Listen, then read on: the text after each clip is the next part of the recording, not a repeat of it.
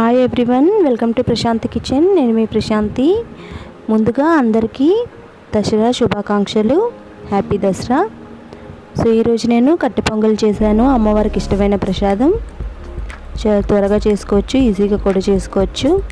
So ముందుగా కడాయి తీసుకొని ఒక కప్పు పెసరపప్పుని యాడ్ చేసుకోండి.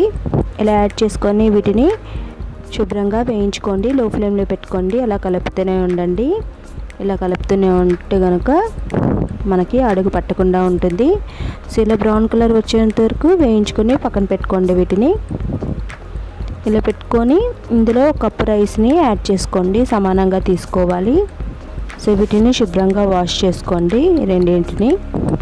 ఇలా వాష్ చేసుకొని ఇందులో మీరు కుక్కర్లో పెట్టుకుంటే కనుక ఫోర్ కప్స్ ఆఫ్ వాటర్ని యాడ్ చేసుకోండి.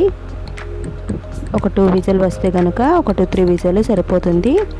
సో నేను మామూలు గిన్నెలో ఉడకబెట్టుకుంటున్నాను.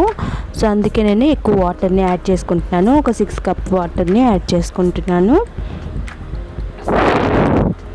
ఇలా వాటర్ని మొత్తాన్ని యాడ్ చేసుకొని ఏదైనా గిన్నెలో పెట్టుకొని మీరు ఉడకబెట్టుకోవచ్చు. సో నేనైతే ఒక పెద్ద గిన్నెలో ఇలాగా బాయిల్ చేసుకున్నాను. వీటికి ఒక ఫిఫ్టీన్ టు ట్వంటీ మినిట్స్ సమయం పడుతుంది. కుక్కర్లో అయితే కనుక త్వరగా అయిపోతుందండి. ఫైవ్ టు టెన్ మినిట్స్లో అయిపోతుంది. సో ఇలా చేసుకుంటే కనుక టేస్ట్ అనేది బాగుంటుంది. సో అందుకే నేను గిన్నెలో వేసుకున్నాను. సో ఇలాగ కుక్ చేసుకుంటే కనుక చాలా టేస్టీగా ఉంటుంది. సిలగ మొత్తాన్ని బాగానే స్మూత్గా బాయిల్ అయ్యాక ఇందులో రుచికి సరిపడే సాల్ట్ని యాడ్ చేసుకోండి. ఈ కన్సిస్టెన్సీ అనేది చిక్కగా కాకుండా మరీ పలుచగా కాకుండా ఇలాగా ఉండాలి. సో జారుగా ఉంటే కనుక టేస్ట్ అనేది బాగుంటుంది. చల్లారేకేది చిక్కబడిపోతుందండి. సో వీటిని ఆఫ్ చేసుకొని పక్కన పెట్టుకోండి. నెక్స్ట్ కడాయిలో ఒక హాఫ్ కప్పు నెయ్యిని యాడ్ చేసుకుంటున్నాను. ఇందులో ఒక నాలుగైదు ఎండుమిరపకాయలని యాడ్ చేసుకోండి. అండ్ ఇందులో పచ్చిమిర్చిని యాడ్ చేసుకోండి. ఒక త్రీ ఫోర్ పచ్చిమిర్చిని యాడ్ చేసుకుంటున్నాను. ఇందులో కొద్దిగా కరివేపాకుని యాడ్ చేసుకోండి. ఇలా యాడ్ చేసుకొని చుట్టుపట్టలాడాకేందుకు అల్లము తురుముని వేసుకుంటున్నాను అల్లం తురుముని.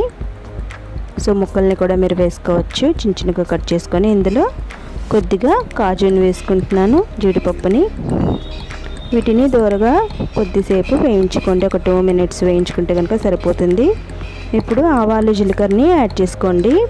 అండ్ కొద్దిగా మిరియాలని యాడ్ చేసుకోండి. మిరియాలని చాలా కంపల్సరీ తప్పకుండా వేయాలి ఇందులో.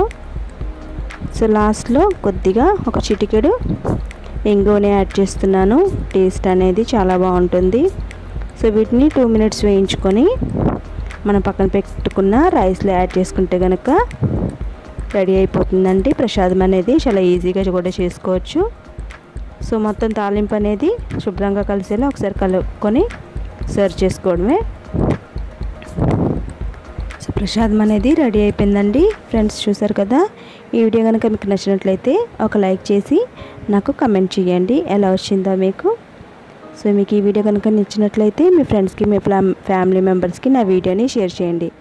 Thank you very much friends. Thank you for watching.